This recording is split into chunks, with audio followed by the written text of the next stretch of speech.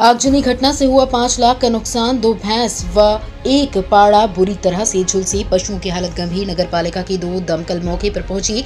आग पर पाया काबू शाहपुरा थाना पुलिस भी मौके पर पहुँची। आग से घरेलू सामान जलकर हुआ राख। पीड़ित गरीब महिला को लोगों ने प्रशासन से मुआवजा देने की मांग।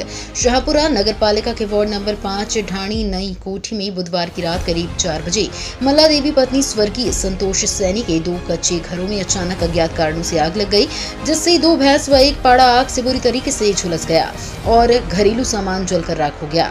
झुलसी पशुओं की हालत गंभीर बनी हुई है। इनके बचने की कोई संभावना नहीं है। पशु चिकित्सालय के डॉक्टर ने मौके पर आकर झुलसे पशुओं का उपचार किया। आग से करीब पाँच लाख रुपए का नुकसान हो गया।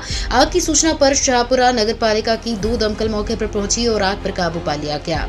वहीं शाहपुरा थाना पुलिस ने भी मौके पर पहुंचकर आगजनी घटना की जानकारी ली। आग से मल्ला देवी पत्नी स्वर्गीय संतोष सैनी की दो भैंस, एक पाड़ा दस बोरी गेहूँ की पाँच बोरी बाज़ार, पाँच बोरी खल काकड़ा दो गच्चे घरों के छप्पर, दो टीन शेड खाने पीने के बर्तन, दो पिकअप चारा, घरेलू सामान जलकर राख हो गया। गरीब पीड़ित महिला पशुपालन कर परिवार का भरण पोषण करती है। महिला का रो रो कर बुरा हाल है।